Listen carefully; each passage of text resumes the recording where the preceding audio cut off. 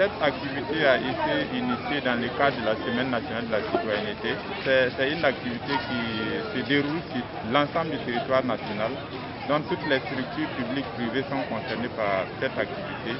Il s'agit en tout cas d'inviter la population à assainir autour d'elle, d'intégrer ça dans leur comportement de tous les jours. Nous avons fait le choix du marché parce que nous avons constaté qu'au niveau du grand marché, particulièrement de la ville de Ouaguia, il y a de l'insalubrité. Donc c'est une façon de sensibiliser les commerçants à avoir l'habitude en tout cas d'être propre autour d'eux. C'est d'appeler les autorités communales, en tout cas avoir un œil là-dessus amener les commerçants, les syndicats de commerçants, les responsables du marché central de, de en tout cas à se donner la main pour mettre de l'ordre au niveau du marché central.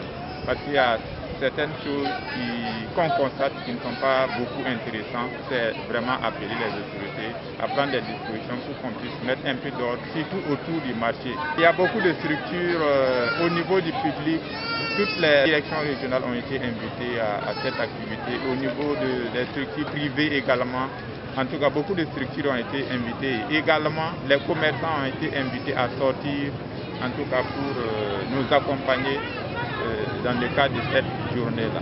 Elle est gagnée parce que bon, il y, a de la mobilisation. En tout cas, je pense qu'on a pu euh, nettoyer une grande partie du marché. Et en tout cas, l'objectif qui était visé est largement atteint. Tunda de. Ne tinga tinga.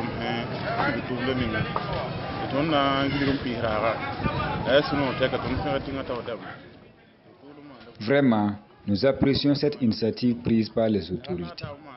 Que cela se reproduise de nombreuses fois. Nous sommes très heureux car la propriété réduit le taux de maladie, mais aussi cela nous honore. Nous apprécions vraiment.